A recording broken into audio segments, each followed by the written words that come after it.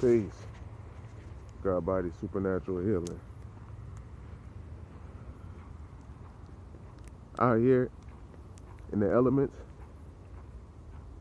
Now you know you got a whole lot of speculation. Everybody, um, you know, going at the point or why the Earth is uh, is the Earth round and you know is it flat or whatnot.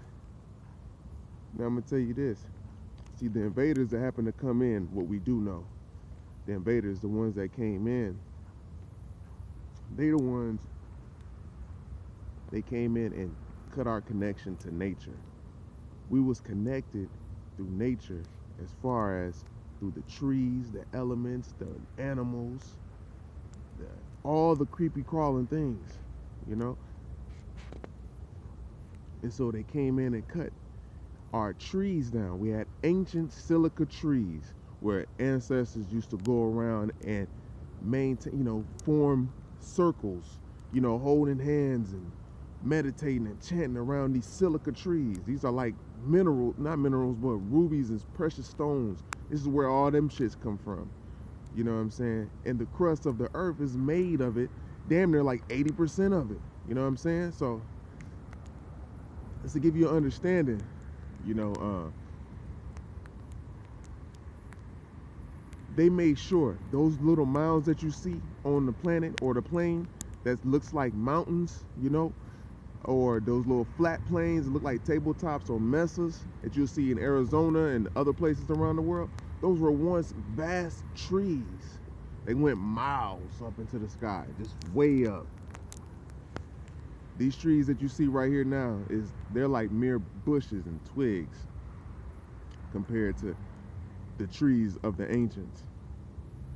And those trees just allow us to transmit our thoughts to far, far, far distances. Very far distances to a point where we can talk and communicate with each other, you know, across the plane.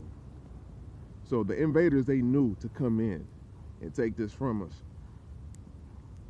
And then it was given aid and assistance also, you know what I'm saying? So that got to be known.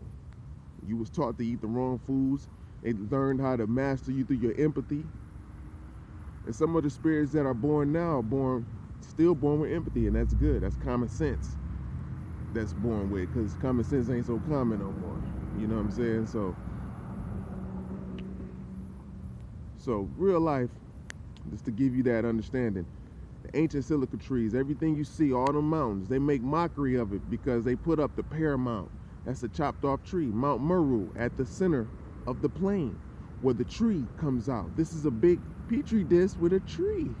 You know what I'm saying? In the center of it, like a big plant. You know what I'm saying? Where you can see all over the world. You can see this plant, but they made sure they chopped it down. So, you know, in the Bible, they talked about this you know so. And that was like uh you know the fact that how they talked about it it was like in daniel talking about you know it was a dream nebuchadnezzar seen a tree that was vast and big and huge you know and the whole world could see it. But it's all kind of references all around the world. Just do the knowledge check it out. You know what i'm saying? There's no floor no uh forest on flat earth. You know what i'm saying it's an old school joint by now, but to some it could be new. You know what I mean? So definitely do the knowledge and put the pieces together and see why your melanin connects with all the minerals in the in the stones. So when somebody tell you don't fuck with the stones, you don't fuck with them when it come to that shit. You know what I'm saying?